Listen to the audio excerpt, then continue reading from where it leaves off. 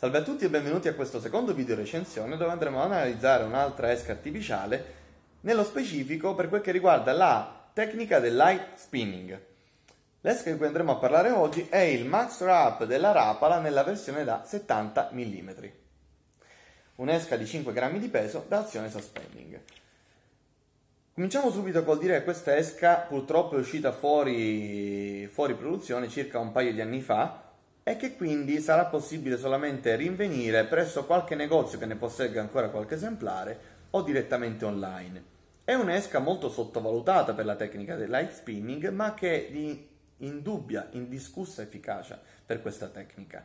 Io fin dal primissimi utilizzi con questa esca ho avuto da subito grandi soddisfazioni, non solo in termini di quantità di catture, ma anche di eh, varietà delle stesse. Nello specifico quest'esca è un vero e proprio mattatore di occhiate.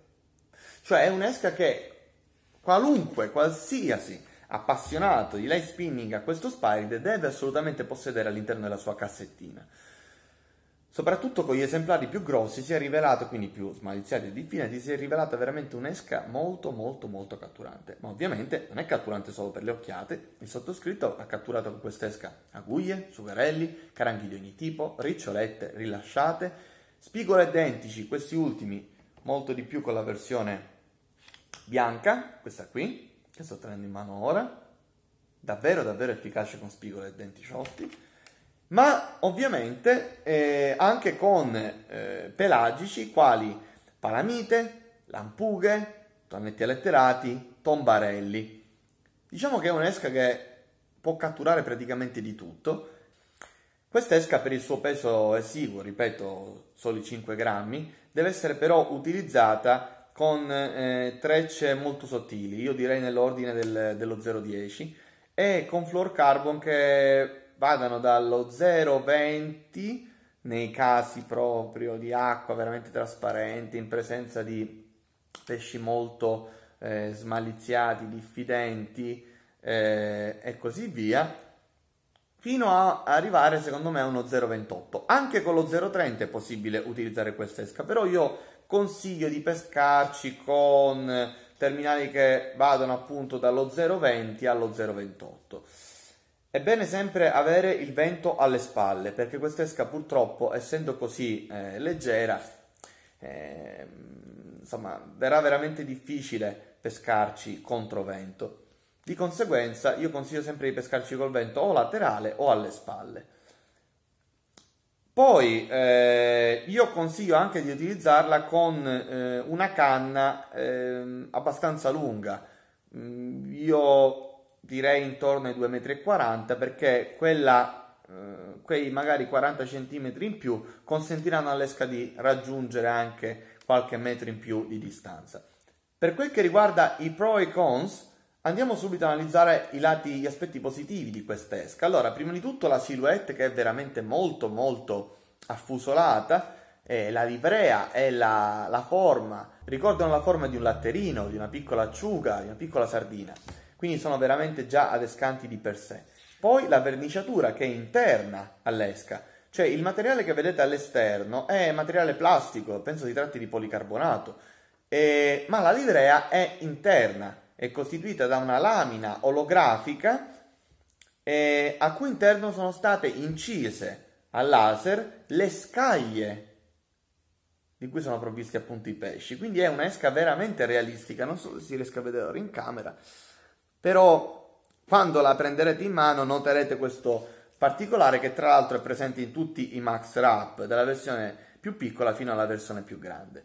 E, ehm, e poi sicuramente un altro eh, grande eh, punto di forza di quest'esca è la lanciabilità. Infatti quest'esca possiede all'interno del suo corpo un meccanismo denominato Max Cast che poi è presente in tutti i Max Wrap che consiste in delle sferette di tungsteno che si vanno spostando dalla testa alla coda o viceversa a seconda dell'inclinazione, quindi che si lancia o si recuperi, che consentono all'esca di ottenere delle gittate veramente molto molto buone. Questa è un'esca che nonostante il suo peso molto esiguo si lancia veramente veramente bene, proprio grazie a questo meccanismo interno denominato appunto Max Cast.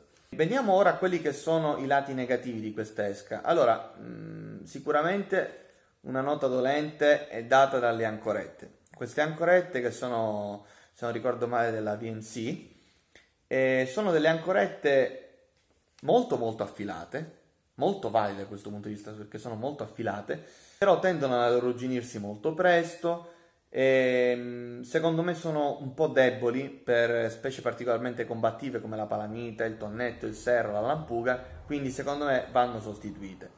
Con pesci di piccola e media taglia secondo me vanno benissimo, però poi sarete comunque costretti a cambiarle perché comunque si andranno ad arrugginire, si spunteranno, però una cosa che ho notato è che loro, sono molto affilate e la loro affilatura tende a eh, comunque a rimanere abbastanza buona nel tempo. Eh, l'unica cosa, appunto, ripeto, secondo me sono un po' delicate. Quindi, se volete andare a insidiare pesci in una certa taglia, vi consiglio di cambiarle. E poi c'è un altro lato negativo che è quello dell'opacizzazione della livrea. Vi prendo un'esca con la quale io ormai pesco da un paio d'anni. Vedete? Quest'esca non è che eh, non funzioni, continua perfettamente a funzionare, però vedete che se la compariamo questa con questa, questa è nuova, non è praticamente mai stata utilizzata, con questa qui, vedete che la livrea è opacizzata. Quindi sicuramente la livrea non si andrà a distruggere, però eh, capite bene che comunque andrà a opacizzarsi. Bene, siamo arrivati alla fine di, questa, di questo secondo video recensione. Se questo video vi è piaciuto mi raccomando mettete un bel like e non dimenticate di iscrivervi al mio canale perché ci sono ancora tantissime novità che vedremo molto, molto presto. Per cui vi auguro una buona giornata e al prossimo video.